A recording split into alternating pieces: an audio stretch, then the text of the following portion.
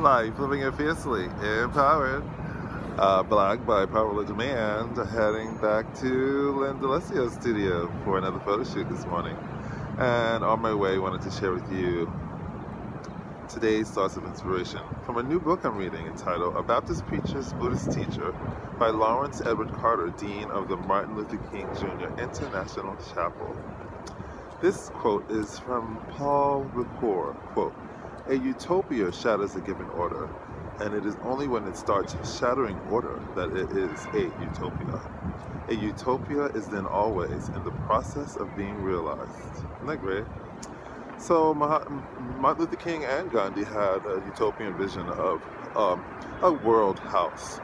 Mahatma Gandhi said, I do not want my house to be walled in on all sides and my windows stuffed I want the culture of the lands to be blown about my house as freely as possible, but I refuse to be blown off my feet by any.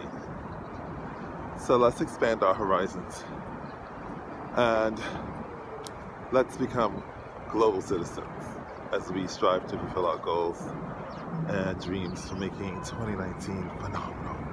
And I leave you with an old African proverb from Uganda. He who never visits thinks his mother is the best cook. Life, living a business, empowered.